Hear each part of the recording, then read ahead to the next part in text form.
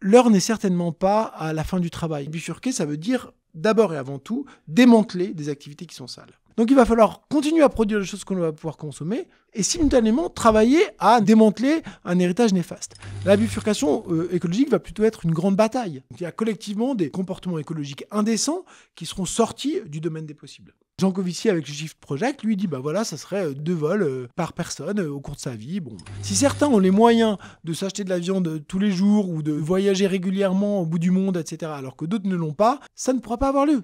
Donc la question de la justice écologique, c'est quelque chose qui est nécessaire. Donc il y a cette dimension, si vous voulez, écologie punitive qu'on assume. Aujourd'hui, nous allons parler de planification écologique. En effet, les crises que nous traversons sont le reflet d'un laisser-faire économique et une confiance aveugle au marché pour résoudre les problèmes par la régulation des prix. Nous devons maintenant reprendre le contrôle de ce système économique afin de revenir sous le seuil des limites planétaires et offrir un niveau de vie décent pour toutes et tous. Vous êtes sur le podcast Circular Métabolisme, le podcast pour mieux comprendre le métabolisme de nos sociétés et leurs impacts sociaux environnementaux. Et pour parler de ces sujets, j'ai le plaisir d'accueillir Cédric Durand, professeur associé à l'Université de Genève. Il est l'auteur des livres Technoféodalisme, Critique de l'économie numérique et plus récemment Comment bifurquer les principes de la planification écologique, coécrit avec Rasmig Köcheyan. Dans cet épisode, nous allons voir dans quelle mesure une planification écologique est nécessaire aujourd'hui, ce que nous apprennent les tentatives du passé, et jusqu'où on pourrait pousser la planification dans le monde à venir. Bonjour Cédric Durand. Bonjour. Merci de passer. Je me lance directement avec une citation de la page 108. Euh, évidemment, on est dans le podcast Circular Métabolisme, donc je vais me lancer directement. La crise écologique correspond à un désajustement du métabolisme de nos sociétés par rapport au cycle permettant à la biosphère de se régénérer et peut être conçue comme une crise de contrôle. Oui, donc cette idée est effectivement tout à fait centrale dans le livre, l'idée qu'il euh, faut penser la crise écologique du point de vue de l'humanité en tant qu'entité, euh, espèce capable d'agir sur son devenir. Et euh, agir sur son devenir, c'est prendre conscience des transformations de notre rapport à la nature et du fait que ce qui était le programme cartésien, hein, de se rendre comme maître, comme maître et possesseur de la nature, est finalement aujourd'hui un programme qui est complètement dans l'impasse, tout simplement parce que cette tentative de se rendre comme maître et possesseur de la nature, c'est retourner contre l'humanité elle-même et contre la nature en général, dans la mesure où notre capacité à maîtriser de plus en plus la nature, c'est en fait retourner contre nous, puisque euh, l'emprise sur la nature aujourd'hui est quelque chose qui est une emprise qui est destructrice, qui détruit la nature elle-même et qui aussi affecte le, le devenir possible de l'humanité. Donc poser cette idée de crise de contrôle, c'est bien poser deux choses en fait absolument fondamentales. La première chose, c'est d'une certaine façon, l'irréductibilité de la nature au point de vue de l'humanité. Il y a une autonomie de la nature et finalement la connaissance humaine ne pourra jamais atteindre une, à une parfaite connaissance de la nature. On est toujours en second dans notre rapport à la nature. Par exemple, ce travail est, très bien, euh, cette idée est très bien euh, démontrée par Koei Seito dans son livre sur Marx dans l'Anthropocène. Il réfléchit beaucoup à cette idée. Et puis il y a une deuxième idée qui, à mon avis, est aussi tout à fait importante, c'est qu'il y a néanmoins une singularité de l'humanité. C'est que l'humanité, elle dispose d'une forme de réflexivité sur sa propre action. Et on pourrait suivre ici un, sociologue qui est le sociologue Goran Thurnborn, qui dit la chose suivante, qui dit que si on veut être optimiste, on peut observer que jamais dans l'histoire de l'humanité, celle-ci n'a eu autant conscience de sa propre capacité d'action. Effectivement, pour observer les destructions qu'elle génère, mais il y a une forme de prise de conscience de ça. Si on a ces deux éléments, hein, d'une part l'idée que on doit être retenu d'une certaine façon par rapport à la nature, puisqu'on est toujours dérivé par rapport à celle-ci, mais d'un autre côté qu'on a collectivement une capacité d'agir, eh bien la question qui se pose, c'est que fait-on face à cette crise écologique? Comment peut-on agir en tant qu'humanité pour reprendre le contrôle, ou plus ou moins, plutôt que reprendre le contrôle, peut-être de manière un peu, un peu plus prudente, pourrait dire, pourrait-on dire, contenir les dérèglements que l'on a dégénérés par le passé et mettre la crise écologique sous contrôle. En effet, il y a certains fondamentaux de l'écologie, mais aussi de, de, de, notre manière de fonctionner, qui sont en désaccord, et il faut... Je ne sais pas si c'est juste avec une qualification et une quantification où on va arriver, mais en tout cas, retrouver cette, euh, cette harmonie qui, par le passé également, n'était pas tout le temps là. C'est-à-dire que même, euh, allez, début 20e, on avait aussi cette, euh, cette, ce mismatch entre la vitesse qu'on produit, la vitesse qu'on est en train de fonctionner, et puis notre contrôle. Quoi. Le contrôle est vraiment un peu au centre. Oui, vous avez raison, la crise écologique s'accélère mais elle ne date pas d'hier, et les dérèglements ont pu exister d'ailleurs au niveau de, euh, de telle ou telle société ou tel ou tel écosystème qui a été euh, déstabilisé par le passé par, d'autres genres de sociétés humaines que celles qu'on connaît aujourd'hui. Ce qui est de singulier dans la crise écologique euh, contemporaine, c'est son caractère absolument global et lié à un système économique particulier qui, poussant à l'accumulation de profits, a une logique d'expansion perpétuelle qui euh, vient euh, confronter euh, le, caractère cyclique, mais au sens de reproduction simple de la nature. Donc on a le capital qui, suit une logique de reproduction étendue, c'est-à-dire toujours plus large, qui doit s'appuyer sur un, espace de reproduction simple qui est celui de la nature. Et entre les deux, bah, le désajustement va grandissant. Hein. C'est le constat qui, qui, à notre sens, en les cas, est le point de départ hein, de la réflexion qu'on doit avoir. Alors, dans votre question, il y avait aussi euh, quelque chose d'autre qui était extrêmement intéressant, c'est la dimension d'une part quantification et l'autre la dimension qui est la dimension peut-être plus euh, politique, idéologique, mode de vie, etc. Bon, c'est vraiment exactement là où on a essayé de, travailler. Hein. La planification écologique, au fond, c'est deux choses. C'est du calcul et de la politique. Hein. Du calcul parce que si on ne prend pas euh, euh, la mesure, au sens technique de mesure, de l'impact de nos activités sur la nature, il est extrêmement difficile pour, euh, pour nous de, de, de, re-réguler hein, ce rapport-là. On peut arriver à le faire à un niveau local, peut-être au niveau du local d'une communauté par rapport à une forêt, par rapport à une rivière. Mais l'impact de l'humanité aujourd'hui s'inscrit véritablement à l'échelle de la planète elle-même, et à cette échelle-là, les individus n'ont pas un point de vue direct. Il faut euh, des appareils, des communautés pour euh, travailler, mesurer, prendre conscience. Donc ça, c'est la partie calcul. Et euh, le calcul doit être aussi un calcul qui doit permettre de se projeter et de définir des trajectoires dans ce qui est tolérable, acceptable. Mais il y a aussi la question politique. Hein, parce qu'il n'y a pas une vérité scientifique par rapport à la crise écologique. Il y a euh, différentes trajectoires possibles pour euh, la surmonter. Il y a différentes crises écologiques dans la crise écologique en général. Donc là, il y a de la délibération. Et la délibération, eh bien, c'est comparer des choses qui ne sont pas comparables, euh, qui ont leur propre, leur propre qualité intrinsèque, et c'est donc du jugement de valeur collectif, et donc c'est de la politique.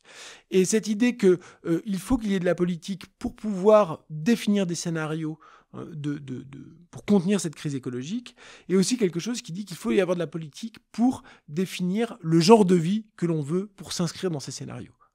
Donc voilà, cette, espèce de tension hein, entre euh, technique d'un côté, mesure, et d'un autre côté, politique, mode de vie, pratique, est vraiment euh, fondamentale dans, dans, ce qu'on a essayé à, de faire dans ce livre. Et on retrouve ici un héros, un de nos héros du livre. Hein. c'est euh, Otto Neurath, qui euh, est un des penseurs de, la planification au XXe siècle, qui avait conscience hein, dans son idée de planification, mettait déjà au centre la question des générations futures et la question des ressources naturelles. Euh, mais Otto Neurath disait la chose suivante. Il disait la planification démocratique, c'est en fait le combat entre les experts et les personnes ordinaires. Hein. Et ce combat entre les experts et les personnes ordinaires, c'est vraiment cette idée de confronter hein, euh, la question de la politique et la question du calcul du technique. Et le travail de, la proposition portée dans ce livre, c'est exactement celle-ci. Un chemin possible, des institutions permettant d'articuler ces, deux dimensions. Mhm. On va voir tout ça en détail. J'ai beaucoup aimé aussi ce, personnage à travers le, livre. Il me parle euh, pas mal.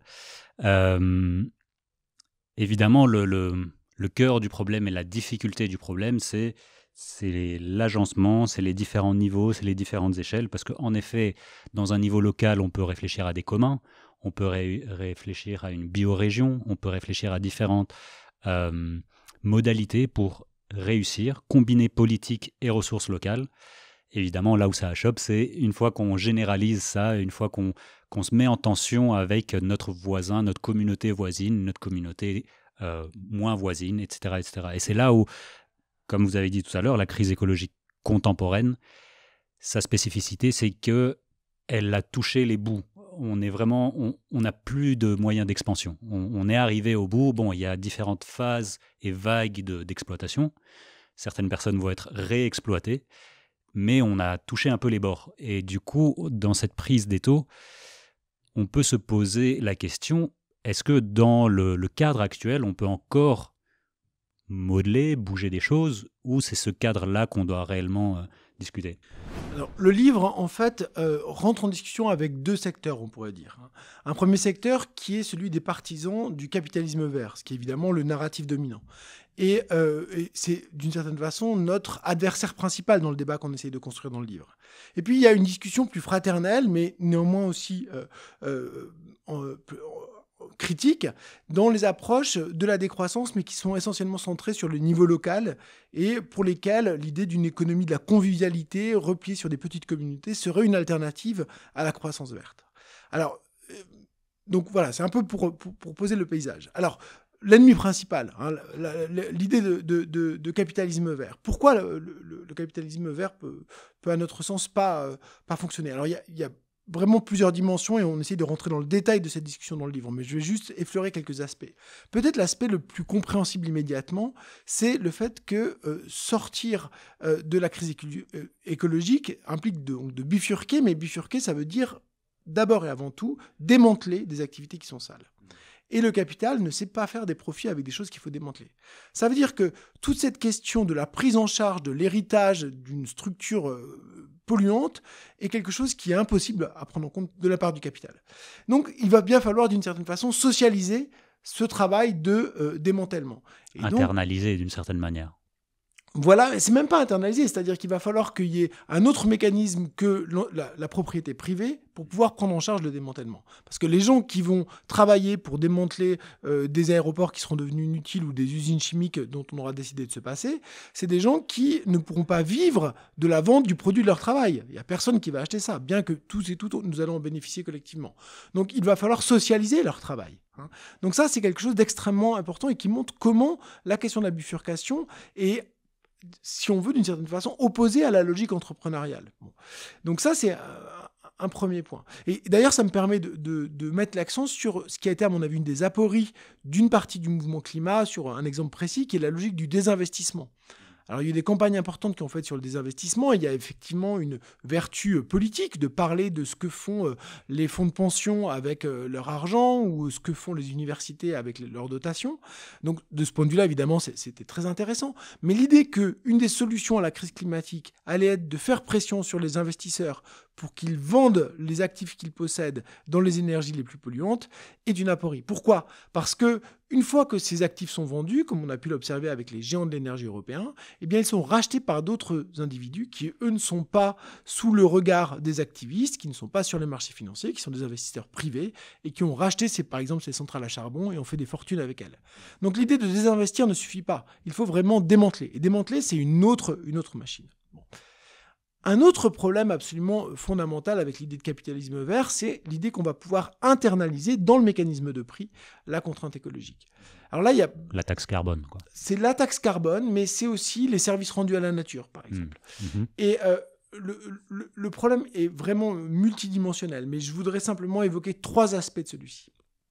Le premier aspect, c'est l'idée que euh, donner un, un, prix aux services rendus par la nature implique finalement euh, de comparer des choses qui ne sont pas comparables. On va donner un prix euh, au gypaète barbu et un prix au lys martagon. On va donner un prix au service que nous rend une forêt dans laquelle on va se promener et un prix euh, à l'eau que l'on va récupérer d'un lac, d'un lac montagneux. Ces choses-là ne sont pas comparables. Mais si vous leur donnez un prix, vous allez les comparer. Et donc vous allez choisir de euh, supprimer l'église Martagon pour protéger les gypaètes barbus, euh, de polluer euh, un lac pour protéger une rivière. Vous allez pouvoir faire ce genre d'arbitrage. Ça, c'est pas possible. Ça, c'est le principe de substituabilité, c'est ça? Exactement. C'est l'idée de substituabilité. Donc, on ne peut pas. Enfin, on ne peut pas remplacer. Le lien avec la substituabilité va encore plus loin. C'est-à-dire que l'idée de substituabilité, c'est que non seulement on va pouvoir arbitrer entre différents services naturels, pourrait-on dire, mais on va pouvoir remplacer du capital économique euh, en lieu et place de la nature que l'on aura détruite. Hein. Et ça aussi, c'est une deuxième, euh, une deuxième si vous voulez. Mais au fond de tout ça, il y a l'idée que donner un prix à la nature est quelque chose qui euh, est absurde. Et quelque chose qui est très agaçant dans le langage des économistes mainstream, c'est vraiment qu'ils se présentent comme ayant une démarche qui est scientifique. Ils disent, nous on est scientifique, on veut quelque chose qui soit rigoureux. Bon, c'est rigoureux, c'est compliqué, mais c'est pas scientifique. En particulier, cette idée que la nature est un prix n'est pas scientifique parce que si l'on raisonne dans la totalité, quel est le prix total de la nature? Le prix total de la nature du point de vue de l'humanité, les prix renvoient à l'humanité, euh, ce prix-là est infini. Hein. Le prix de la nature est infini puisque c'est la condition même de notre existence. Et dès lors, chaque parcelle de la nature a un prix qui euh, ne peut pas être réduit à une, donnée particulière. Donc il y a vraiment une forme d'impasse de, logique dans cette idée d'internaliser dans le système de prix la nature. On pourrait évoquer encore beaucoup d'autres exemples, peut-être que j'en rajoute encore deux à ces trois premiers éléments. Un premier élément euh, concerne le rapport entre les générations. Euh, l'idée, là encore, c'est que, euh, à travers notamment le cas de la taxe carbone, on va pouvoir raisonner en prenant en compte les préférences des individus. Christian Gollier, qui est vraiment l'apôtre le, plus zélé de la taxe carbone et qui a des vertus pédagogiques incontestables, un vrai enthousiasme pour son projet, dit la chose suivante. Pourquoi ne pourrions-nous pas prendre en tant que, que, société le même type de risque que l'on puisse peut prendre comme individu. Après tout, certains et certains d'entre nous décident bien de boire de l'alcool, de traverser la rue, euh, de faire euh, un sport qui peut être dangereux, etc. Et donc, il y a une forme d'acceptation du risque. Eh bien, euh, collectivement, pourquoi ne pourrions pas avoir ce type d'acceptation du risque? Et je paye les conséquences de prendre un jet privé, quoi. Exactement. Et donc, à travers le système de prix, on finalement on exprimerait ses préférences et ce rapport au risque. Alors là, il y a beaucoup de choses qui, ne vont pas, mais ce qui ne va pas en particulier, c'est l'idée que la communauté des vivants permet d'internaliser l'ensemble du rapport au risque. Pourquoi? Parce qu'une grande partie des conséquences des désastres écologiques, évidemment, vont être subies par les générations à venir. Et donc, les préférences des vivants ne suffisent pas à euh, exprimer le rapport au futur. Autrement dit, l'idée d'un calcul individuel par rapport à la question écologique euh, est une impasse. Euh, le calcul euh, du risque pour, par rapport à la nature est un calcul qui est éminemment spécifique au sens d'espèce. Hein. C'est collectivement les humains en tant qu'espèce qu'il nous faut réfléchir sur ce rapport-là.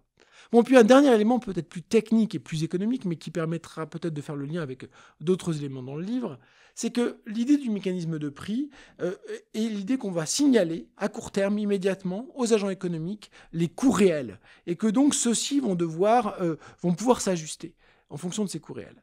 Et ce qu'on observe avec le cas de la taxe carbone, c'est qu'en fait, c'est pas possible. Soit le, prix est pas très élevé, du coup, ça n'affecte pas profondément les comportements, soit le prix est très élevé, et dans ce cas-là, qu'est-ce qu'on a? On a les gilets jaunes, comme on a pu le voir en France il y a quelques années, ou bien on a quelque chose comme la grande crise industrielle que vit aujourd'hui l'Allemagne, suite à l'invasion russe de l'Ukraine et l'arrêt des livraisons de gaz, qui est en fait un désajustement majeur, mais sans sans maîtrise. Euh, pourquoi ça? Eh bien parce que les structures économiques, contrairement au modèle des néoclassiques, ne sont pas malléables à l'infini, ne sont pas flexibles à l'infini. Il leur faut du temps pour s'ajuster. Et justement, hein, l'idée de planification, c'est l'idée de définir à cette trajectoire hein, de transformation et pas euh, supposer une forme d'ajustement instantané comme par magie.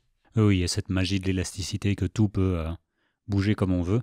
Donc si, on voit que le désinvestissement ne fonctionne pas, si les prix ne fonctionnent pas, si, euh, tout ça ne fonctionne pas, bon, évidemment, c'est une tradition. Hein, c'est pas juste dans, les dernières, c'est pas juste le néolibéralisme des, des 30 dernières années. Il y a une tradition économique qui date quasi du début du siècle. Ce, combat entre c'est le marché qui va résoudre ou euh, on doit avoir plutôt cette comptabilité en nature d'autonorate, bah, voilà, c'est un conflit qui existe. Et il y a des arguments des deux côtés, mais là-dedans, ce qui, ce qui est intéressant, c'est que de toute façon, on va devoir agir. Dans tous les cas, on voit que malheureusement, il n'y a pas de, de, planification long terme par le marché. Donc si votre livre il prône la planification écologique, ce qui serait intéressant, c'est de voir est-ce que la planification économique fonctionne. Évidemment, dès qu'on parle planification économique, on va tout de suite penser à l'URSS, on va tout de suite penser à la Chine. Euh, il y a d'autres exemples qu'on va pouvoir euh, mentionner, mais quand on regarde la planification économique du passé, que voyons-nous?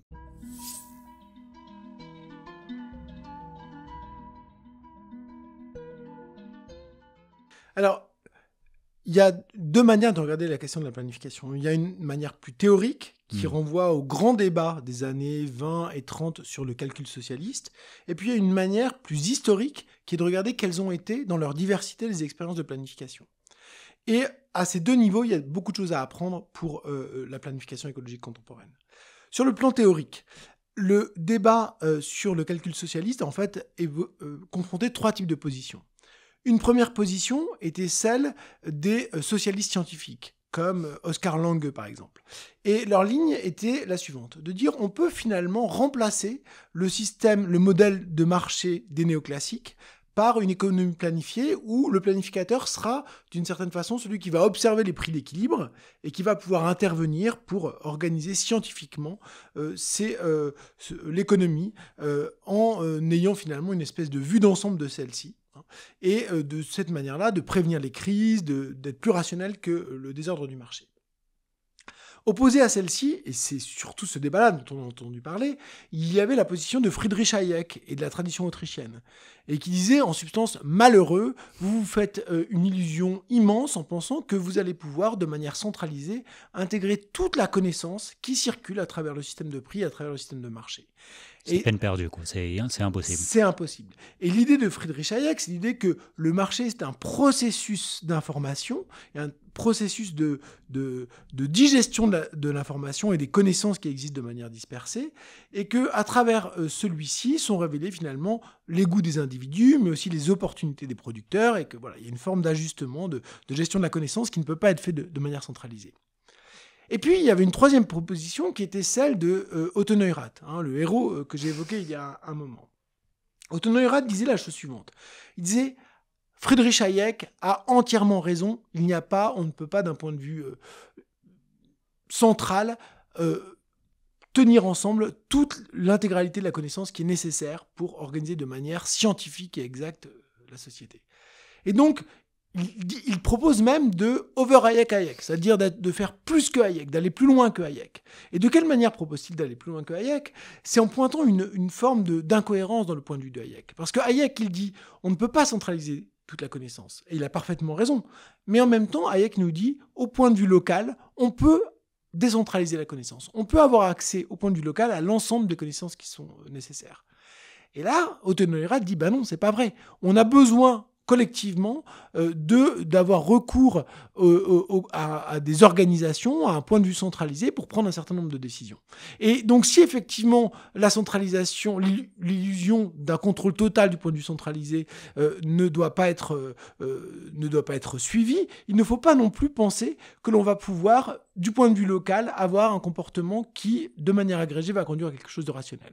Il faut donc des institutions délibératives qui permettent au niveau central hein, de euh, discuter des différents scénarios, mais tout en étant conscient que euh, cette connaissance centrale est imparfaite. Et en particulier, Autonoirat évoquait hein, cette idée de calcul en nature, qui est un calcul en fait sur des valeurs, sur des scénarios, et qui permet de prendre en compte différentes dimensions du devenir des sociétés humaines qui ne sont pas réductibles à un système de prix. Alors Otto est quelqu'un de très intéressant aussi parce qu'il a aussi euh, développé des systèmes de représentation euh, de ces différentes dimensions économiques, avec notamment cette idée de silhouette économique plutôt que hmm. d'avoir un seul indicateur. Donc vraiment, il cherchait à rendre compte de cette nécessaire diversité des dimensions à prendre en compte dans la délibération économique à l'opposé hein, du, système de prix. de ce point de vue-là, c'est quelque chose d'extrêmement euh, intéressant pour aujourd'hui. Alors ça, c'est pour le débat théorique. Hein. Si on veut faire de la planification écologique, il faut s'inspirer de Neurath parce qu'effectivement, le système de prix ne permet pas de résumer euh, l'information nécessaire, mais tout simplement aussi parce que le système au niveau local, on ne peut pas avoir accès à toute la connaissance écologique nécessaire pour faire des choix rationnels. Un exemple, chacune et chacun d'entre vous peut essayer au supermarché de se comporter de manière parfaitement écologique. C'est peine perdue, il va ressortir déprimé et incapable d'agir du supermarché. Pour quelle raison? Parce que cette connaissance-là doit être nécessairement filtrée par des organisations. Elle est technique, elle est experte, elle met de nombreuses années à être acquise. Le, deuxième euh, volet de l'histoire de la planification, c'est finalement la planification en tant qu'expérience historique, expérience réelle. Et euh, effectivement, c'est quelque chose qui importe beaucoup pour nous dans le livre. La méthode qu'on propose dans le livre, c'est pas une méthode qui consiste à inventer un modèle euh, avec nos petits cerveaux et nos lectures simplement, mais c'est essayer de s'appuyer sur des expériences historiques véritables pour les redéployer et voir. On propose le, le terme suivant. On parle d'utopie institutionnelle. L'utopie institutionnelle, ça s'oppose à l'idée de modèle utopique, mais ça s'oppose aussi à l'idée d'utopie concrète qui a été développée par le sociologue Eric Wright. Eric Olin Wright, lorsqu'il parle d'utopie concrète, il parle par exemple des coopératives, il parle des communs, ou il parle de choses plus méso-sectorielles comme Wikipédia, qui sont des expériences très fortes et dont il dit on doit s'inspirer pour pouvoir penser une alternative euh, au système existant. Nous, on dit c'est super, cette démarche-là nous plaît beaucoup, son côté réaliste nous plaît beaucoup. Euh, mais néanmoins, il y a une forme de limite dans cette démarche-là, qui est que si on pose la question du système, il faut aussi avoir des institutions, des alternatives qui se posent à l'échelle systémique. Et donc, notre méthode, elle va consister à aller regarder dans les expériences historiques ou dans ce qui existe aujourd'hui, des choses qui soient suffisamment macro hein, et qui puissent néanmoins informer une transformation. Alors, quelles sont ces expériences historiques auxquelles on, fait référence. Vous avez évoqué la planification soviétique, qui est évidemment une des grandes expériences, une expérience qui est de développementalisme radical et brutal, qui jusqu'aux années 60 a fait penser à beaucoup euh, en Occident et évidemment aussi en Union soviétique qu'il y aurait une forme de rattrapage, de dépassement peut-être même de l'Union de l'économie soviétique par rapport aux économies occidentales. Mais c'est aussi un modèle qui outre son épuisement euh, euh, dans les dernières décennies, était un modèle dictatorial, un modèle brutal sur les travailleurs, mais un, modèle aussi dictatorial sur le contenu de l'activité économique. De ce point de vue-là, il y avait une, sociologue hongroise, Agnès Heller, qui parle de dictature sur les besoins. cette idée de dictature sur les besoins est précisément quelque chose euh, auquel on s'oppose dans le livre et qu'on a cherché à mettre à distance. Les autres expériences qu'on peut évoquer sont des expériences euh, beaucoup plus euh, ambivalentes. Euh, par exemple, il y a l'expérience du développementalisme dans la période d'après-guerre, que ce soit dans des pays comme le Japon, des pays comme la Corée ou des pays comme la France, par exemple. Hein. Et dans ces cas-là, on a bien vu un État stratège prendre le contrôle d'un certain nombre d'outils économiques pour diriger le développement économique. Un développement économique qui a été un succès, du point de vue de l'enrichissement, mais évidemment un développement économique productiviste, destructeur de la nature. Et lorsqu'on pose la question aujourd'hui de euh, la planification écologique, c'est une planification qui est très différente de cette planification développementaliste. C'est une planification qui ne doit pas être productiviste, qui doit sortir du productivisme. Donc là encore, vous voyez, hein, une mise à distance, une expérience dont il faut tirer des enseignements, mais une mise à distance. Puis troisième euh, expérience importante dont on parle dans le livre, c'est l'expérience chinoise. Hein. et la planification chinoise en particulier telle qu'elle a existé ces dernières décennies, depuis 1980 jusqu'à aujourd'hui. Euh, l'économie chinoise est une économie qui est parfaitement intégrée dans le capitalisme mondial. C'est une chose évidente aujourd'hui, où il y a un secteur privé, il y a des bourses, etc. Mais c'est aussi une économie qui est encore très largement contrôlée, pilotée stratégiquement par la puissance publique, l'État et le Parti communiste chinois. Et euh, cela se fait en particulier à travers euh, un certain nombre euh, de contrôles directs en termes de propriété, hein, ce, que, les Chinois appellent les hauteurs stratégiques de l'économie, les grandes banques, les grandes sociétés de transport, les grandes sociétés de construction, les grandes sociétés d'énergie, sont des grandes entreprises publiques qui sont des leviers de la planification. Mais il y a un autre élément qui nous a beaucoup intéressé dans l'expérience chinoise, c'est le fait que cette planification est en grande partie décentralisée. Et elle est décentralisée parce que la Chine est un pays-continent gigantesque dans lequel finalement les provinces ont beaucoup d'autonomie. Et donc le processus de planification implique la chose suivante, que certes des objectifs sont décidés au niveau central, mais simultanément les solutions qui vont être proposées par rapport à ces objectifs sont différentes selon, selon les régions. Et ensuite, bah, il y a un bilan de ces expériences qui est fait, et puis certaines solutions sont euh, abandonnées, d'autres sont, euh, sont suivies. Pourquoi ça, ça nous a intéressés? Parce que ça, c'est une réponse au modèle soviétique et au modèle développementiste d'après-guerre dans une de leurs limites, qui était le fait de générer des monocultures techniques, la même solution partout. Hein. Et ça, c'est quelque chose, évidemment, qui euh, a atteint ses limites de, façon importante. C'est important d'avoir une économie, euh, des capacités de consommation et de production qui soient diversifiées ou liées de l'innovation. Ben, cette idée d'expérimentation, cette logique de décentralisation dans la planification est, à notre avis, quelque chose d'absolument essentiel. Donc voilà quelques éléments hein, dans lesquels on peut, un peu circuler, mais peut-être pour tout de suite distancier en même temps que l'on s'appuie sur ces expériences. Pas de dictature sur les besoins, pas de logique productiviste, pas de logique monoculturelle techniquement, mais au contraire un espace pour l'innovation. Voilà euh, en, en, négatif la manière dont on a pu réagir par rapport à ces expériences de planification qui en même temps, par leur existence, démontrent que l'on peut organiser l'économie autrement que euh, par euh, des marchés euh, prétendument autorégulé. Ce qui est intéressant, en effet, c'est que même dans l'URSS, il y avait des États spécialisés, il y avait les États voitures, il y avait les États agricoles, il y avait les États... Et la même chose s'est fait en France, avec euh, différentes régions plutôt agricoles, plutôt minières, plutôt autre chose. Donc, en effet, il y avait ces, régions ou ces, disons, ces sous-secteurs qui étaient là spécialisés, et on voit les limites aujourd'hui, c'est-à-dire certains, certaines régions sont obligés de trouver des nouveaux emplois pour des personnes qui se trouvent bloquées dans, dans une mono, monofilière. Quoi.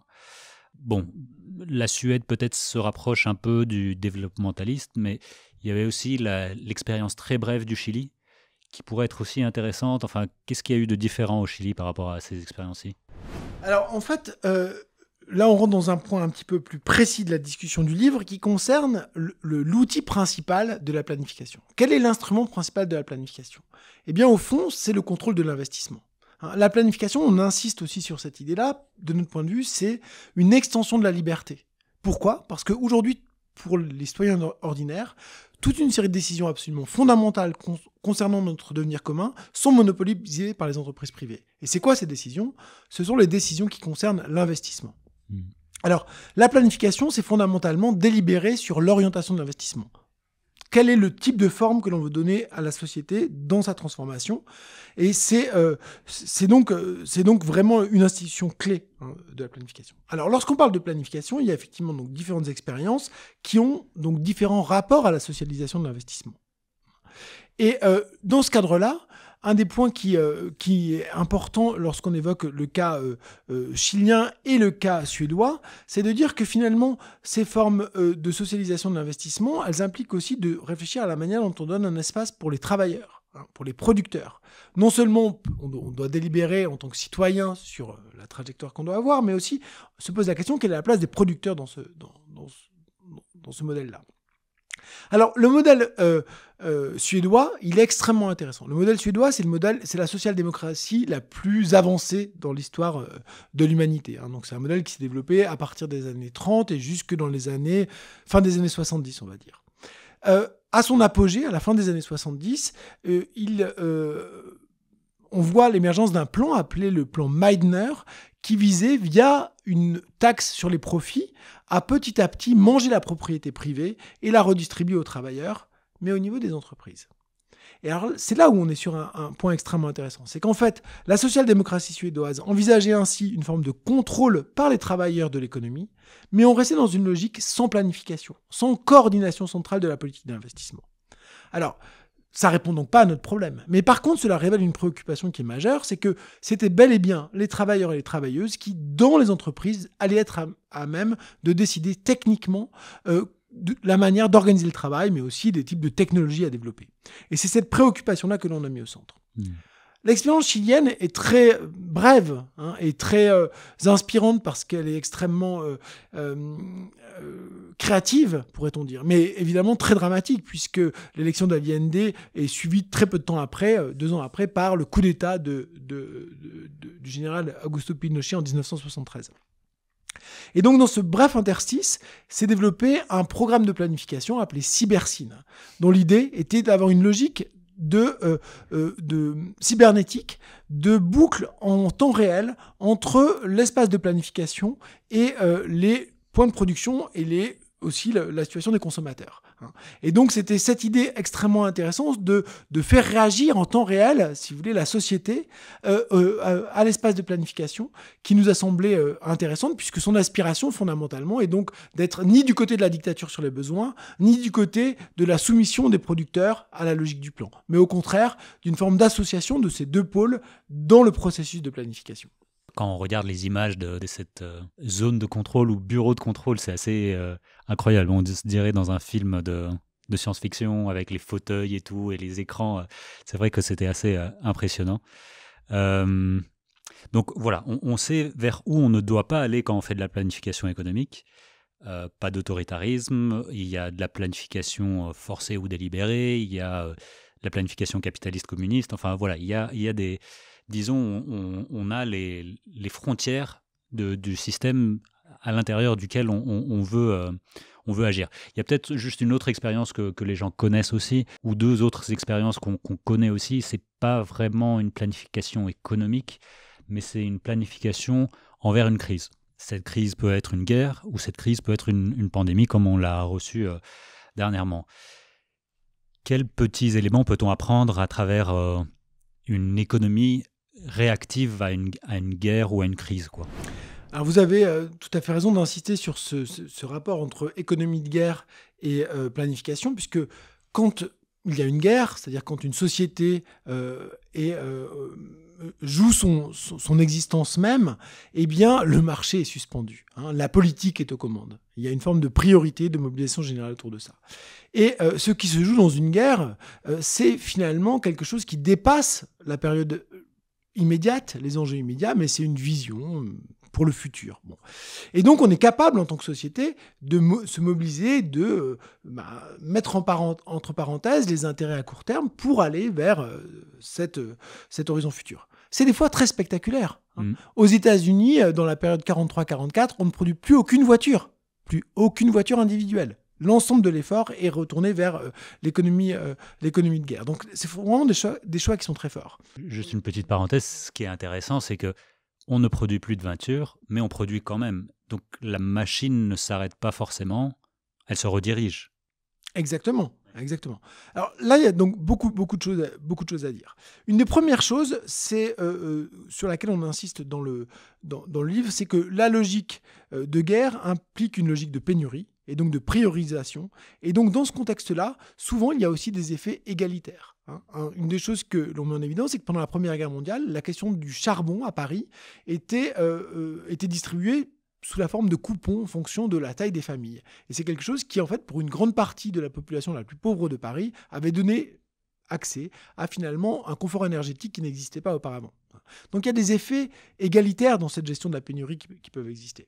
Euh, le deuxième point, c'est euh, effectivement cette idée que lors de la réorientation en fonction des priorités, eh bien, euh, on est capable de, faire une mobilisation donc, pour l'avenir.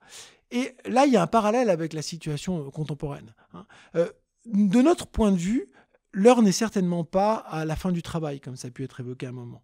Euh, on pense plutôt que ce moment de la bifurcation est un moment où, même si ce n'est pas un horizon qui est nécessairement désirable en soi, mais où on va avoir besoin des capacités de travail, de l'effort de toutes et tous. Hein. Pour quelle raison? Eh bien parce que non seulement il va falloir créer des euh, moyens de production plus propres, mais simultanément, il va falloir démanteler, comme je l'ai dit tout à l'heure, un certain nombre d'infrastructures sales. Et ce travail de démantèlement ne va pas produire des choses que l'on va pouvoir consommer. Donc il va falloir continuer à produire des choses que l'on va pouvoir consommer en faisant un effort d'investissement parce que ça doit être des choses plus propres, et simultanément travailler à ne rien faire, enfin, ou à démanteler un héritage néfaste. Tout ça, c'est beaucoup de travail. Hein. Et donc cette idée de bifurcation est aussi une idée où temporairement, pendant euh, une dizaine d'années, euh, peut-être 15, peut-être... Bon, temporairement, il y a un surcroît d'efforts qui doit être réalisé. Hein.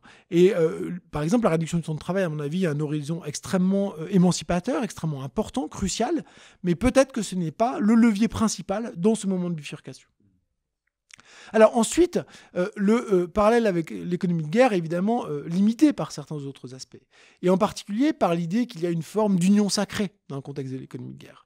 La bifurcation euh, écologique va plutôt être une grande bataille, sans doute, hein, entre une partie euh, de la société arc-boutée sur les intérêts liés à des activités économiques destructrices, et en particulier une partie de la communauté financière. Hein. On sait aujourd'hui, on mesure euh, assez précisément pour le climat en tous les cas, que l'essentiel de la capitalisation boursière est associé à des activités très intensives en carbone et donc très destructrices du climat. Eh bien, on voit aujourd'hui les, les, réticences. Il y a un mouvement un peu en faveur d'une finance plus verte, mais aujourd'hui, on est vraiment dans une logique complètement euh, inverse. Ça résiste très dur. Et donc là, c'est des batailles. C'est pas l'union sacrée, au contraire, c'est la bataille euh, écologique pour l'hégémonie sur le devenir du système économique. Donc voilà, des parallèles avec les moments d'économie de guerre, cette idée de mobilisation, cette idée de dépasser euh, le, les effets à court terme euh, économiques, cette idée aussi d'exigence de, plus d'égalité face à une contrainte forte, mais en même temps des différences importantes, pas d'union sacrée, au contraire une dynamique euh, sans doute de conflictualité axée autour de, ces enjeux écologiques Et en effet, cet exemple sur l'économie américaine est, frappant. On peut aussi se, rappeler que pendant une année, on n'avait plus d'avions et tout le monde se portait bien aussi, et que ça a été du jour au lendemain. Donc on voit que les États peuvent être assez radicaux par rapport à leur choix, mais en effet, l'ennemi, la guerre, elle est diffuse. Ce n'est plus. Euh, l'ennemi n'est pas unique, l'ennemi n'est pas euh, euh, cerné dans le temps. Enfin, ça va être un travail de longue haleine. Et du coup, d'où la planification. C'est pas un, travail de, de, courte haleine, mais plutôt de longue haleine. Et d'ailleurs, je me souviens plus qui dans votre livre disait que la bifurcation écologique sera différente d'une économie de guerre parce qu'elle sera encore plus complexe. C'est une nouvelle ère. Ce, n'est plus euh, cette, simplicité. Euh, souvent, on fait ce rapprochement ou cette, euh, ce parallèle-ci pour se dire, bah voilà, je pense que c'est François Ruffin qui parle de, on peut remettre, réarmer les personnes pour, pour agir là-dedans, mais voilà, les, peut-être que les parallèles ne sont pas si, si efficaces en tout cas. Oui, non, c'est vrai. le, le parallèle n'est pas n'est certainement pas complet et dans l'idée de bifurcation il n'y a pas l'idée de revenir à l'état antérieur euh, ex post mm. alors dans les périodes de guerre aussi c'est vrai une société qui a traversé une guerre ne sort jamais indemne de cette expérience là et elle-même transformée mais dans le cas de la bifurcation écologique c'est intentionnel hein. il s'agit de manière intentionnelle de définir euh, un autre type de euh, d'organisation de l'économie donc Passons sur le chantier à venir, cette fameuse planification écologique non productiviste et démocratique.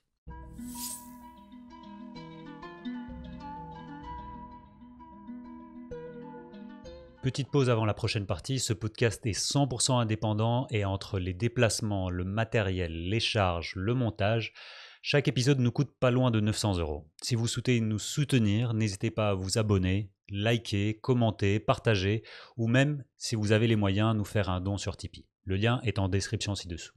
Un grand merci et place à la suite. On a déjà beaucoup de présents, mais il faudra reconstruire énormément de choses également.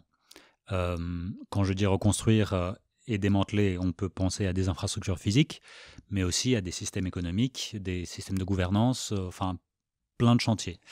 Et aussi une culture, c'est-à-dire une culture d'auto-limitation, une culture de de se dire que la limitation est, devient une liberté également. Enfin, peut-être qu'on peut commencer par, euh, par ces fameuses trajectoires. Comment on choisit ces trajectoires-ci? Oui, en fait, peut-être pour euh, donner un point de vue d'ensemble sur la logique de la planification, on pourrait dire que c'est quatre blocs. Hein, mmh. l'articulation de quatre blocs. Le premier, ça va être effectivement de définir les scénarios à partir des besoins. Quels sont les besoins qui euh, nous permettent euh, de euh, rester dans les limites planétaires et en même temps qui correspondent à ce que collectivement nous acceptons comme besoins qui peuvent être satisfaits.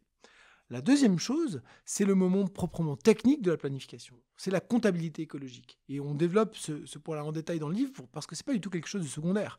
Si on n'est pas capable de mesurer, d'avoir une idée de notre impact qui est précise sur la nature au niveau global, mais également au niveau des écosystèmes, eh bien on n'arrivera pas à discriminer entre les usages que l'on peut, euh, des ressources naturelles que l'on peut faire, les activités économiques que l'on peut maintenir et celles qu'il va falloir abandonner. Donc ce moment de la comptabilité écologique est absolument essentiel. Et aujourd'hui, elle commence à se développer, mais de manière problématique. Il y a beaucoup de débats autour de ça.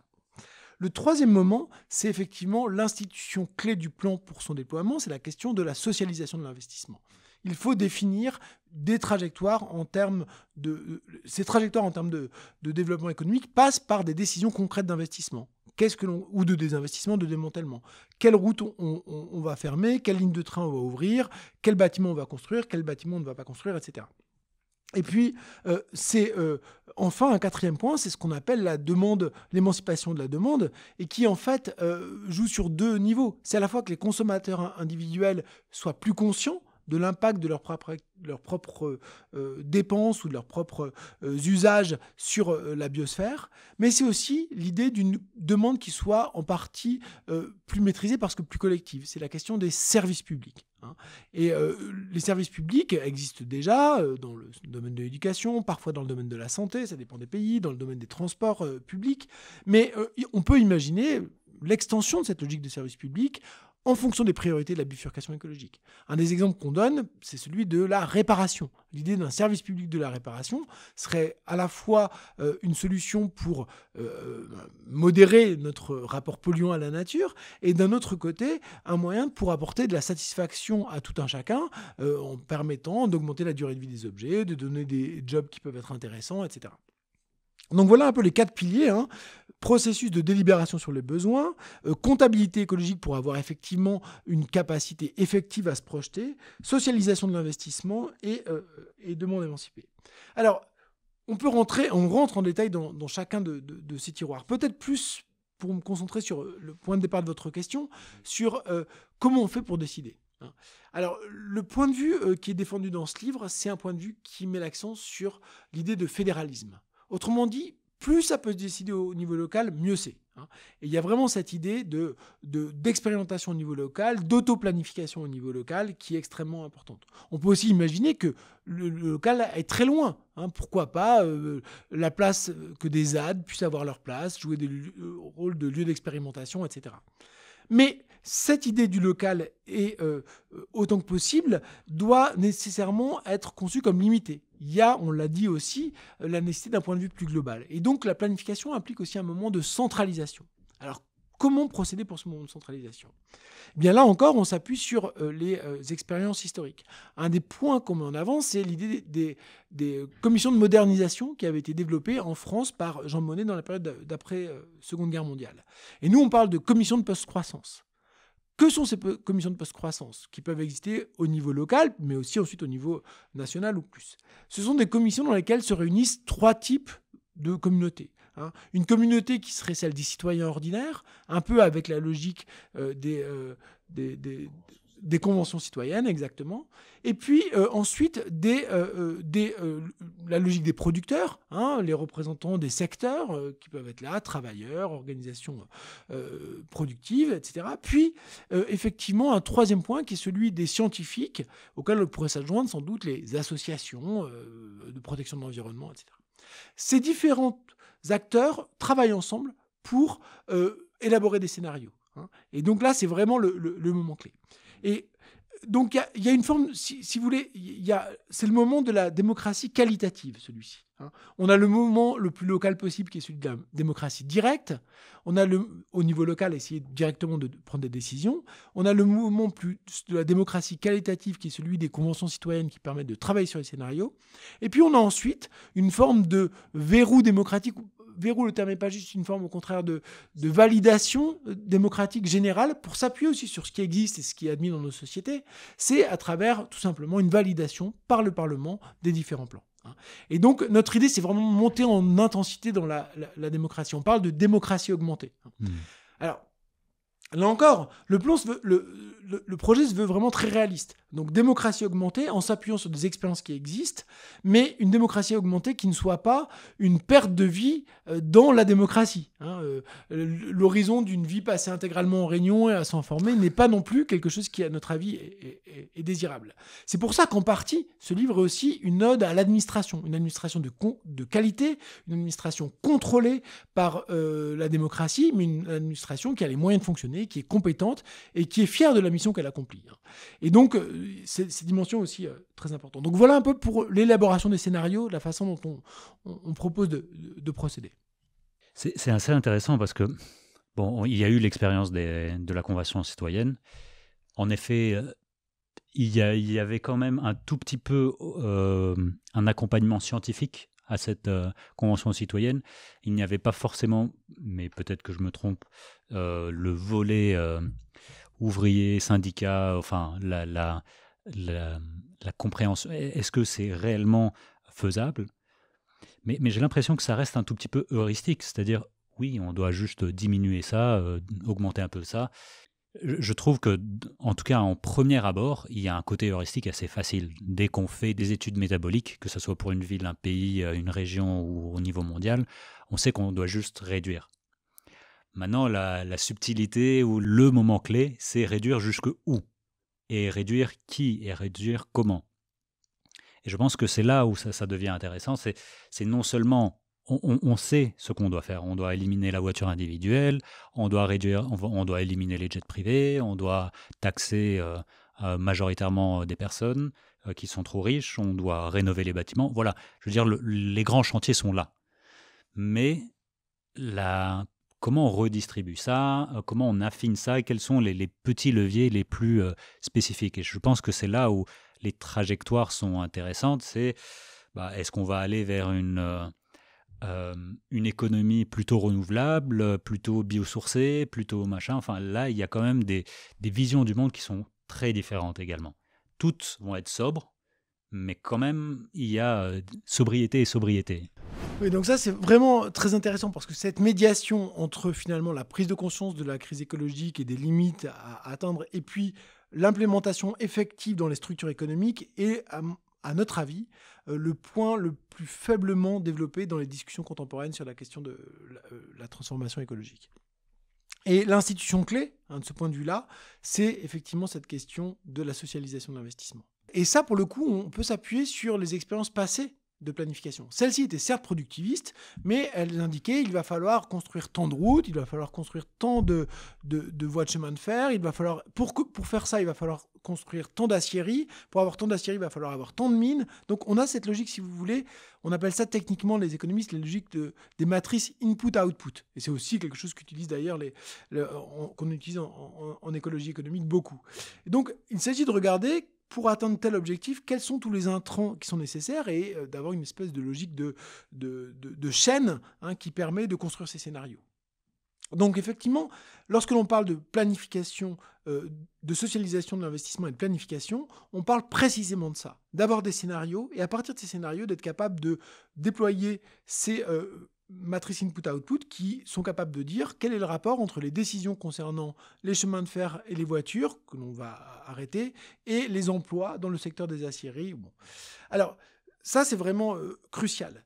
Et de quelle manière on peut euh, rendre ces matrices input-output et les décisions qui correspondent au scénario que, l'on a choisi opérants? Euh, J'ai évoqué tout à l'heure cette idée de socialisation de l'investissement, mais qu'est-ce que ça veut dire très concrètement? Eh bien, très concrètement, ça veut dire deux choses.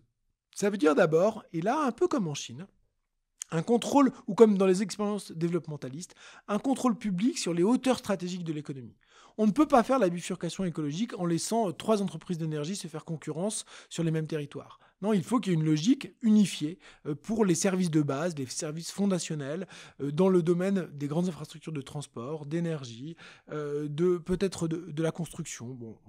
En tous les cas, cette idée qu'il y a un certain nombre d'entreprises clés qui doivent être sous contrôle public pour pouvoir piloter la planification, la bifurcation écologique, à notre avis, est essentiel. Euh, le deuxième levier, c'est euh, la politique du crédit. Et ça, c'est très intéressant parce que ça donne beaucoup de flexibilité.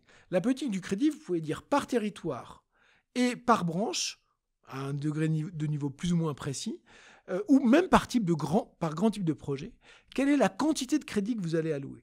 Et donc de cette manière-là, vous allez pouvoir décider quelque chose dont on évalue assez précisément l'impact écologique, mais sans décider concrètement les modalités techniques du déploiement. Hein. C'est les organisations, les collectivités locales qui vont demander des crédits et il y aura il y a une certaine quantité de crédits qui pourraient être abordés, qui pourraient être mobilisés pour ce, pour ce besoin spécifique, pour cette demande spécifique. Donc là, vous voyez, c'est vraiment quelque chose qui est, qui est euh, à la fois connu, hein, euh, de la politique du crédit a existé euh, dans l'après-guerre en France, notamment, il y avait ces commissions de modernisation qui étaient associées à la politique du crédit. Euh, mais c'est aujourd'hui aussi en partie le cas en Chine où la banque centrale décide, alors c'est pas sur un contingentement en termes de volume, mais c'est sur des niveaux de prix du crédit, décide quel type de projets peuvent avoir accès à des, crédits à meilleur marché. Et en même temps, c'est quelque chose qui donne de la flexibilité. Donc, nous, ce qu'on propose, hein, c'est d'avoir ces scénarios qui soient contraints et élaboré à partir de la comptabilité écologique. Si vous voulez, il y a une forme de subordination du calcul économique au calcul écologique et qu'il se puisse se déployer concrètement à travers ces entreprises publiques qui doivent donc se conformer aux injonctions euh, euh, du, euh, du, scénario choisi, et la politique de crédit qui permet d'aller de manière plus fine et en laissant davantage d'autonomie aux, acteurs économiques. Et ça, hein, comme je l'ai dit tout à l'heure, à différents niveaux. On ne va pas planifier au même degré de détail au niveau d'un pays et au niveau d'une région. Hein. il y a une forme de, processus de désagrégation. Quand vous parlez de crédit, j'imagine que vous parlez en euros ou en financier, mais euh, on pourrait faire l'approche de, de où, où il s'agit, si on, si on dit que c'est un budget monétaire, mais on a aussi un budget carbone alloué, un, budget ressources, un budget, etc., etc. Et comme ça, on a une approche multidimensionnelle ou une analyse multicritère où où un projet bah, doit cocher toutes les cases pour pouvoir y arriver. Alors ça, c'est très intéressant. Alors, donc, en fait, la difficulté avec la, question de, la prise en compte de la nature dans les calculs économiques est cette articulation entre le niveau local et le niveau global. Les scénarios, ils permettent d'avoir une cohérence globale. Et du coup, en termes de biodiversité, en termes d'impact sur le climat, en termes de pollution chimique, etc., on peut arriver à un niveau macro à avoir des choses assez précises. Et donc, le plan doit permettre de se conformer à cet objectif macro. Mais ensuite, au niveau local concret, les destructions de tel ou tel écosystème vont avoir des particularités très difficiles à saisir au niveau central. Et c'est pourquoi on mobilise dans le, livre aussi l'approche de comptabilité dite CARE. C'est une approche qui consiste à dire que il faut prendre en compte au niveau des écosystèmes l'impact des différentes organisations sur ceux-ci. Et il ne faut pas prendre en compte euh, cet impact de la manière qui consisterait à dire euh, on va avoir une logique de, de mesurer quels sont les services écosystémiques réalisés par telle ou telle euh, forêt, rivière, etc. Mais au contraire, il faut mettre autour de la table les différentes organisations qui pèsent sur ces écosystèmes, un peu dans une logique de commun, et faire en sorte que ceux-ci doivent intégrer à leur comptabilité le coût de la préservation de ces écosystèmes, et éventuellement soit liquider s'ils ne sont pas capables d'assumer ce coût de préservation. Et donc ça, c'est quelque chose aussi auquel on tient beaucoup, c'est que là, il y a un critère de viabilité au niveau local des organisations. Euh, donc de ce point de vue-là, si vous voulez, le calcul en nature de qu'on évoquait, il a lieu au niveau macro. C'est lui qui va permettre de piloter l'allocation des crédits, mais on ne peut pas allouer les crédits dans 10 monnaies différentes en parallèle. C'est pour ça qu'on ne peut pas avoir un crédit biodiversité, un crédit carbone, un crédit monnaie, un crédit machin. Donc il faut un calcul plus général entre les scénarios, qui est un calcul en valeur, dans lequel on décide de prendre en compte ces différents facteurs, à partir duquel on va donner des crédits qui sont là cette fois-ci monétaires pour pouvoir développer l'activité économique. Et au niveau micro, on retrouve cette approche multicritère pour de manière fine être assuré euh, la préservation des écosystèmes. Peut-être qu'il y a évidemment euh, l'éléphant dans la pièce, l'unité la, euh, la, plus nucléaire, la plus fondamentale de, ces discussions aussi, c'est un peu les besoins. Parce que comment on réduit, jusqu'où on réduit, euh, qui décide, etc. Bah, il faut que, idéalement, on puisse avoir un niveau de vie décent. décente. et comment choisir entre ces différents besoins? Qu'est-ce qu'un besoin Qu'est-ce qu'un besoin superflu, qu'est-ce qu'un besoin essentiel, sachant que certains besoins euh, qu'on a aujourd'hui n'étaient pas un besoin il y a X années parce qu'on n'avait pas l'électricité, etc., Donc ça reste quand même un autre volet ou un autre, une autre parenthèse qui, qui reste un peu importante. Il y a pas mal de travaux sur euh, euh, le Decent Living Standards, donc dans les, niveaux de, de, vie décente, sur la question de des besoins. Il y a Nashima Rao, il y a Julia Steinberger et plein d'autres personnes qui, parlent de, tout ça. Comment on agit, comment on délibère autour de besoins, euh, comme en tant que citoyenne, citoyen? C'est à quel niveau euh, Comment on comment on navigue là-dedans?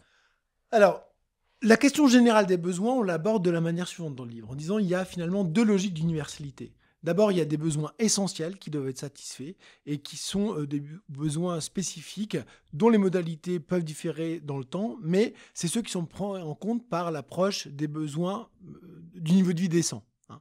Et donc, euh, tout, ce niveau de vie décent, ce que montrent les travaux de Steinberger et de ses co-auteurs, c'est qu'on peut Hein, satisfaire à l'échelle de la planète un niveau de vie décent pour tous les individus. Et ça, c'est une bonne nouvelle. Hein. Ça veut dire qu'il n'y a, pas de fatalité euh, à, se trouver euh, face à une crise écologique qui, de toute façon, serait insurmontable avec la population que l'on connaît aujourd'hui. C'est possible. Mais un niveau de vie décent, ça permet de vivre de manière décente, mais c'est bien moins qu'un niveau de vie euh, confortable. Et ensuite, il y a des niveaux de vie qui sont complètement indécents. Et il faut naviguer là. Donc c'est là où il y a un deuxième type de, une deuxième frontière, si vous voulez. Euh, au-delà du, le minimum, c'est le niveau de vie décent, et le maximum, c'est euh, les besoins que je vais pouvoir satisfaire sans porter atteinte euh, aux conditions de vie et aux besoins, aux besoins de mes, des concitoyens, des autres. Et c'est, si vous voulez, cet espace, cet espace de, de, liberté entre les deux qui, pour nous, est très important. Ce qu'on essaye de dire, c'est que les niveaux de vie, le niveau de vie décent doit être garanti. Mais ce niveau de vie décent n'épuise pas la logique des besoins. On continuera, et heureusement, à avoir des besoins qui ne sont pas des besoins seulement correspondant à un niveau de vie décent, qui sont des choses que l'on désire.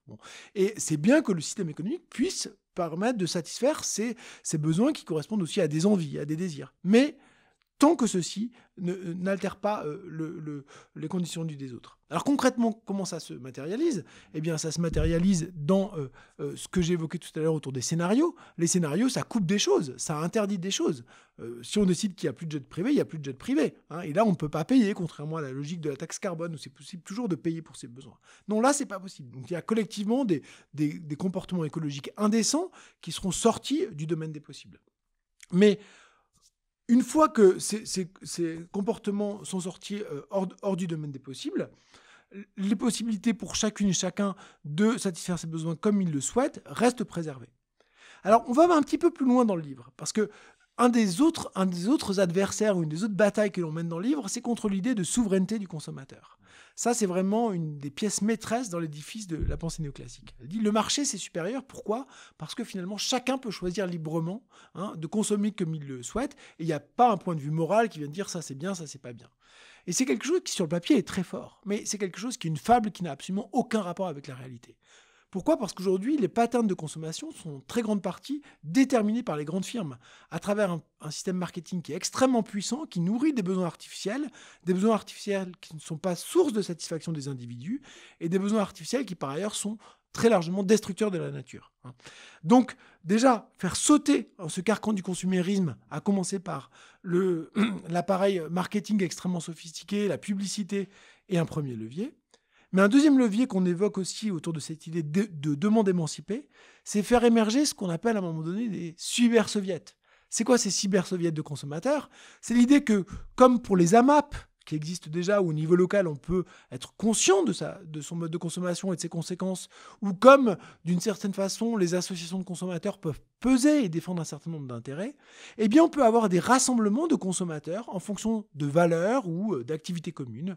Par exemple, les aficionados d'escalade ou les aficionados de, de, de musique, qui vont avoir une forme de consommation experte et qui vont par le biais de cette organisation nécessairement euh, numérique. Pourquoi? Parce que à l'échelle du village où vous pouvez habiter ou de la petite ville, il n'y aura pas nécessairement autant de spécialistes que vous le souhaiteriez, vont permettre donc d'agir pour peser sur les producteurs, imposer des standards, imposer des normes, abandonner des, euh, euh, des directions plutôt que d'autres. Elles existent déjà, ces communautés de spécialistes, de consommateurs spécialistes à l'échelle latente.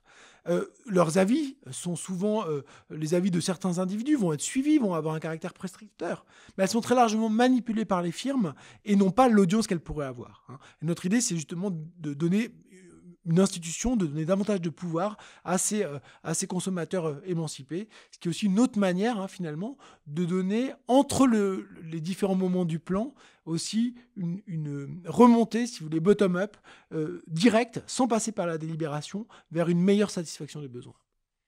Donc dans les besoins, si je me souviens bien, il y en avait plusieurs, il y en avait neuf ou quelque chose comme ça, où il y a des besoins plutôt physiques et il y avait des besoins aussi plus démocratiques. Ah oui, 4 sur le bien-être social, 5 sur le bien-être physique, donc qui a se nourrir, se loger, accès à l'énergie, se vêtir, se soigner. Donc ça c'est plutôt du côté de, du bien-être physique. Et dans le bien-être social, s'éduquer, s'informer et, et communiquer, se déplacer et la liberté de circuler et s'assembler. Donc à quel niveau, disons, moi, euh, je veux euh, faire quelque chose de plus dans me loger et moins dans me vêtir, et vous, un peu plus sur euh, vous éduquer et un peu moins sur vous déplacer. Donc ça, c'est quoi? C'est le foyer qui décide en interne? Est-ce qu'il y a une régulation? Est-ce qu'il n'y a pas de régulation? Comment on Non, c'est assez simple, il faut partir de l'existant. En fait, il y a deux modes de satisfaction des besoins. Il y a un mode qui est collectif, c'est la logique des services publics essentiellement. Mm. Et dans ce cas-là, ben, voilà, l'université ou le lycée dans lequel vous allez aller est piloté par le canton ou par, euh, euh, ou par le ministère de, l'Éducation nationale. Euh, et puis les transports vont être déterminés par une société publique de transport comme les chemins de fer suisses. Bon, donc on a ce, niveau collectif hein, de satisfaction des besoins. Mm-hmm. Et puis ensuite, le genre de pâtes que vous allez manger à midi, si vous êtes flexitarien ou complètement végétarien ou vegan, bien ça, c'est votre choix individuel euh, qui euh, se reflètera dans le système économique à partir des contraintes qui auront été mises sur le système d'investissement.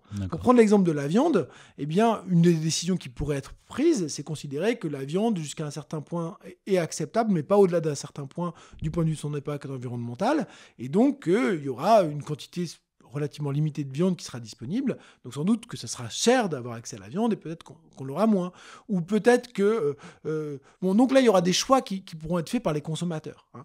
Euh, mais il y a vraiment cette idée de, deux niveaux. Hein. Il y a un niveau qui est le niveau de satisfaction collective des besoins et l'autre niveau qui est le niveau de satisfaction individuelle des besoins et qui là dépend de, des décisions de chacun en tant que consommateur, mais aussi en tant que participant à un collectif au niveau local euh, qui va, par exemple, continuer à aller à son AMAP et à la développer, etc.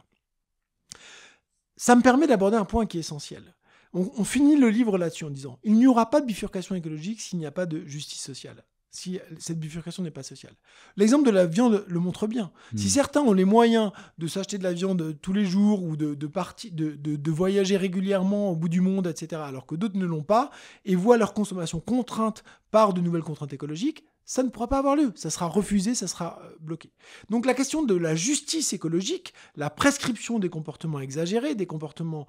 Euh, bon, c'est quelque chose qui, va, euh, qui, de, qui, est nécessaire.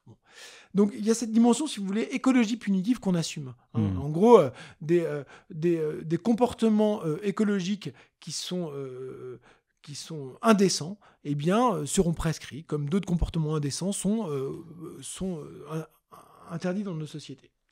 Euh, mais en positif, il y a aussi des garanties qui doivent être abordées. Les garanties, à notre avis, elles sont à deux niveaux. D'abord, c'est des garanties sociales.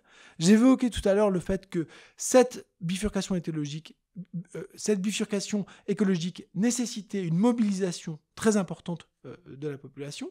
Ça veut donc dire que chacun va pouvoir y trouver sa place. Et une des garanties que l'on propose dans le livre, c'est l'idée de garantie d'emploi, le modèle de garantie d'emploi, qui fait que toute personne qui, devrait, qui perdrait son emploi aurait la garantie de trouver immédiatement un autre emploi, dont ce serait à l'État de trouver, euh, euh, euh, le, de proposer quelque chose. Hein. Donc cette idée de garantie de l'emploi, qui a été développée notamment par une économiste Pavlina Tcherneva ou par Iman Minsky auparavant, est une idée vraiment, à notre avis, extrêmement importante pour justement garantir aux classes populaires que euh, elles ne vont pas être abandonnées, elles ne vont pas être victimes dans ce, processus-là. Le deuxième niveau, c'est qu'il y a aussi l'idée d'un enrichissement de la satisfaction. Prenons l'exemple du voyage. Tout le monde aspire à, enfin, beaucoup de personnes aspirent à voyager, certains aspirent moins à voyager, il y a des désirs qui sont différents. Mais la qualité du voyage peut aussi être transformée. On, sera amené à voyager euh, euh, autrement. Et c'est pas sûr que le, voyage soit moins intéressant. Aller d'un centre commercial à un autre, ce qui est en fait le voyage auquel correspond un voyage d'un aéroport à un autre, ou même d'un centre-ville d'une ville touristique à une autre aujourd'hui, eh bien finalement, sans doute pas plus divers du point de vue de l'expérience que d'autres formes de voyage. Donc cette idée que transformer les modes de consommation, y compris euh, dans leur dimension loisir, découverte, épanouissement, soit nécessairement un appauvrissement, on est radicalement opposé à ça. On ne mmh. pense pas du tout que c'est une logique euh, de, de, souffrance, de, de, malthusienne, de réduction. Euh, c'est pas ça. Hein. La bifurcation écologique, c'est aussi transformer nos modes de satisfaction des besoins. C'est pas les satisfaire moins, c'est sans doute les satisfaire mieux et plus que ce n'est le cas aujourd'hui.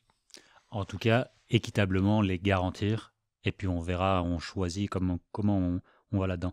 Je ne sais pas si on rentre dans ce, petit détail méthodo pour essayer de comprendre si on prend l'exemple de la viande ou de la mobilité.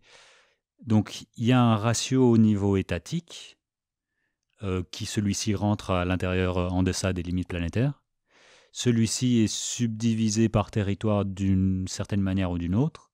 Donc est-ce que l'État nous garantit de pouvoir nous déplacer de X kilomètres et nous on choisit d'en faire plus ou moins ou comment, eh ben ça c'est il n'y a pas la réponse dans le livre. Je, sais. Hein, pourquoi il n'y a pas la réponse dans le livre? Parce que c'est typiquement là-dessus que doit apporter la délibération. D'accord. Est-ce que la délibération, elle va consister à dire euh, on, interdit tous les voyages à partir d'un certain âge parce que c'est les jeunes qui doivent développer, euh, voyager parce que c'est à cet âge-là qu'on découvre le monde? Bon.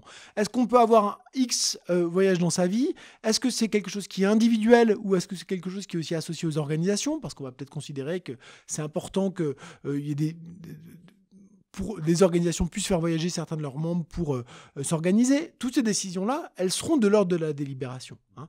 Mais vous avez raison de dire que le rationnement peut faire partie de ça. Ça peut être une des modalités. Euh, Jean Covici, avec le Shift Project, lui dit bah voilà, ça serait deux, deux vols par personne au cours de sa vie. Bon, voilà, moi j'ai aucune idée du calcul d'ingénieur qui permet d'arriver à ce résultat, ni si c'est le bon moyen de délibérer. Ce que je sais par contre, c'est qu'il va falloir compter quel est l'impact de l'aviation et qu'est-ce qu'on peut se permettre et qu'est-ce qu'on veut collectivement se permettre et répartir cette contrainte-là. Et c'est précisément là-dessus que porte le processus de planification. Oui, et là, enfin, pour en revenir également sur, euh, j'imagine, la critique majeure de, la planification, c'est un peu euh, un autre type d'austérité, alors que les gens ne réalisent pas qu'on est dans une espèce de grosse austérité en ce moment aussi. Euh, ou en tout cas que ça va être très bâton, beaucoup moins carotte. Euh, j'aime beaucoup cette phrase de, Georges Monbiot sur la sobriété privée et luxe public. Je pense que c'est vraiment quelque chose qui bon, attire certaines personnes, repousse d'autres, mais en tout cas, je trouve qu'elle est très parlante, que c'est quelque chose vers où on devrait aller, de pouvoir garantir pour tous et toutes un seuil euh, qui, rentre dans les limites planétaires. Et après, euh, bah, chacun d'entre nous, on, serre un peu la ceinture sur des trucs superflus que nous-mêmes on, on choisit. La logique d'extension des services publics correspond mhm. précisément euh, en grande partie à ça. Cette idée de garantir et finalement de soulager. Aussi euh, l'inquiétude associée à la précarité économique que beaucoup connaissent aujourd'hui. Ne pas être sûr d'avoir un boulot, ne pas être sûr de trouver un logement, ne pas être sûr de pouvoir payer ses frais de santé, ne pas être sûr de pouvoir payer l'éducation de ses enfants, etc. C'est des choses qui évidemment sont très euh, insécurisantes pour tout un chacun. Hein. Et l'idée justement de cette extension euh, des services publics, euh, du, niveau de vie décent qu'on évoquait tout à l'heure, c'est d'enlever cette inquiétude, hein, de donner une forme de liberté au fait d'enlever cette inquiétude-là. Hein. Et donc ça épuise pas euh, la satisfaction des besoins, comme je l'expliquais aussi, mais c'est quand même quelque chose, une grande source de liberté. c'est, on vit beaucoup mieux lorsqu'on peut penser à autre chose qu'à ces problèmes essentiels au jour le jour. Peut-être pour clôturer, déjà, je ne sais pas s'il y a des sujets qu'on n'a pas couverts qu'il faudrait qu'on touche absolument. Et puis, bah, comment on avance? C'est-à-dire que ça, c'est un projet politique et sociétal. Quelles sont les batailles à gagner là-dedans? Comment, on peut avancer? Est-ce que c'est juste au niveau politique? Est-ce qu'il y a certainement euh, des critiques qui peuvent être que c'est très euh, descendant comme projet, alors que au final, il est tout autant ascendant que descendant comme projet. Mais, comment on avance euh, quelles sont certaines pistes? Est-ce que vous avez déjà des, réflexions sur les prochaines étapes? Comment on mobilise ça? Bon, le livre est, sorti vraiment récemment, il y a quelques semaines seulement. Et donc, nous, ce qu'on espère, c'est qu'il va susciter des discussions dans différents secteurs. Hein. Différents secteurs, quels sont-ils? Effectivement, les militants, qu'ils soient politiques ou écologistes, on sent qu'il y a une vraie appétence de discussion aujourd'hui sur comment bifurquer? Quelle est la question euh, Quels sont les, éléments euh, institutionnels qui permettent de rendre crédible cette idée d'une sortie de la logique de la croissance capitaliste? Et euh, donc ça, c'est un, des premiers secteurs avec lesquels on souhaite discuter. On pense aussi qu'il y a beaucoup de gens qui aujourd'hui travaillent dans les administrations publiques ou dans les cadres du privé qui ont conscience du caractère destructeur ou de l'impasse des politiques qui sont menées ou des décisions prises par leurs organisations.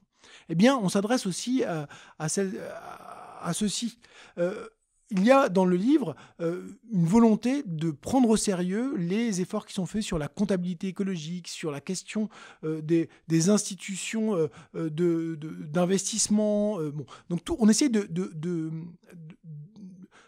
prendre en compte tous les, les, les, efforts qui sont faits aujourd'hui et de discuter de manière critique, mais d'engager avec ceux-ci. C'est pour ça qu'on discute par exemple assez longuement de l'expérience de Biden aux États-Unis et de l'ARA, ou alors de ce qui a pu être fait au niveau européen. On évoque aussi euh, le cas de euh, les questions de comptabilité écologique qui sont faites par les comptables nationaux au niveau de l'ONU. Donc toutes ces communautés expertes, euh, on, essaie de dire c'est super ce que vous faites. Il y a vraiment des choses qui aujourd'hui sont des réflexions importantes, mais il faut essayer de on essaie de mettre, voilà, de, faire des liens entre ces éléments-là pour proposer un paradigme, hein, d'une certaine façon, qui permettrait de, donner confiance à ces différentes communautés et, euh, et d'aller de l'avant. Et puis, il y a aussi un autre enjeu qui est important, c'est pour les sciences sociales. Hein. C'est un livre qui est pluridisciplinaire. Moi, je viens de l'économie politique, Razmig est sociologue, et donc on travaille à la frontière de ces deux disciplines, mais avec la volonté plus largement hein, d'intégrer les, les, questions euh, écologiques comme des questions de sciences sociales au sens fort, avec euh, une, une, l'idée de construire une grammaire commune.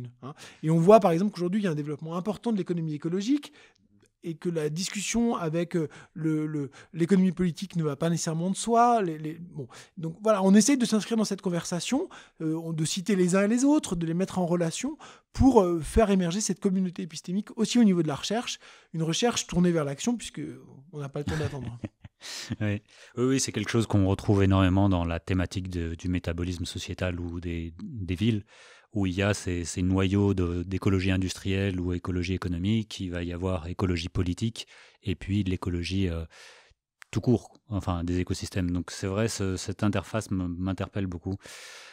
Est-ce qu'il y a euh, une ressource que, à part euh, l'héros auto, est-ce qu'il y a une, personne ou en tout cas un, livre ou un film ou quelque chose qui, qui illustre bien ces, ces principes de, bifurcation ou de planification écologique qui serait intéressant de, de partager Il y a vraiment une, beaucoup de travaux qui sont très intéressants aujourd'hui dans le domaine de, euh, de, l'écologie. Euh, donc ça, m'embêterait de citer l'un et de pas citer l'autre, je trouve ça un peu, euh, un peu gênant, mais peut-être évoquer une des tensions qui, à mon avis, est, féconde dans les débats qu'on doit avoir. C'est la question du rapport à la technologie, en particulier du rapport au numérique.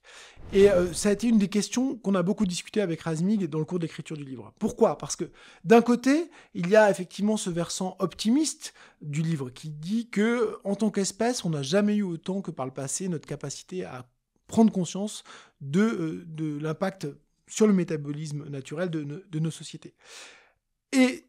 En même temps, cette technique nous échappe d'une certaine façon à une dimension destructrice. Et donc, on procède, si vous voulez, d'une forme de logique de rationalisme tempéré. Hein, on dit, oui, on va pouvoir mobiliser la technique, on va pouvoir mobiliser le numérique, mais il va falloir discriminer dans les usages. Mmh. Et dans le numérique, par exemple, il y a des usages qui vont être plutôt positifs du point de vue de leurs conséquences pour l'environnement. Par exemple, être capable de mesurer à l'échelle planétaire les fuites de méthane, ce qui d'un point de vue déclaratif ne marche pas du tout. Ben, on a mhm. besoin des images satellites et de, de, les agréger, de les traiter pour pouvoir euh, avoir cette connaissance-là. Mais euh, simultanément, on sait bien que le déploiement aujourd'hui à vitesse grand V de l'intelligence artificielle ou des véhicules autonomes, etc., sont des choses qui sont extrêmement coûteuses du point de vue de l'impact énergétique et ne sont pas soutenables. Donc ça, ça veut dire quoi? Ça veut dire qu'il va falloir choisir entre les différents usages du numérique. Hein.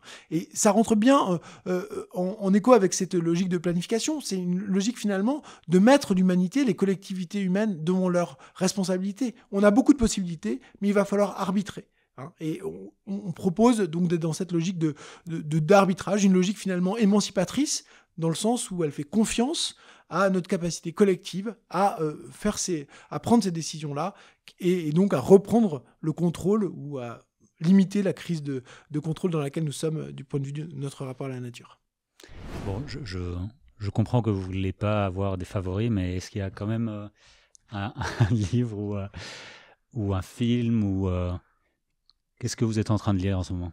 Ce que je suis en train de lire en ce moment, je suis en train de lire euh, les, travaux de Brett Christophers, en particulier The Price is Wrong, sur la question de l'impasse euh, du renouvelable du point de hmm. vue des capitalistes, parce que le, problème n'est pas tant que euh, le, coût unitaire de production de l'énergie renouvelable diminue, que le fait que du point de vue des entreprises, les, les perspectives de profit sont limitées.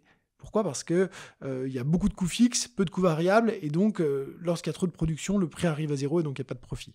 Et donc là, il y a une contradiction extrêmement importante. Donc voilà un ouvrage, par exemple, que je suis en train de dire et qui est, très important, je crois. Bon, bah, merci beaucoup, euh, Cédric Durand, et merci également à vous toutes et tous d'écouter jusqu'au bout. N'hésitez pas à nous faire remonter vos expériences de bifurcation, mais aussi vos, vos modèles de comptabilité en nature. Il y a plusieurs personnes qui font de la recherche qui écoutent ceci. Euh, et puis il y a également euh, dans, ces questions-ci de planification, de post-croissance, euh, des épisodes tels que celui avec Herman Daly, Tim Jackson, Kate Raworth. voilà, n'hésitez pas à vous balader là-dedans et puis on se revoit bientôt pour un autre épisode. Merci. Merci beaucoup pour cette invitation.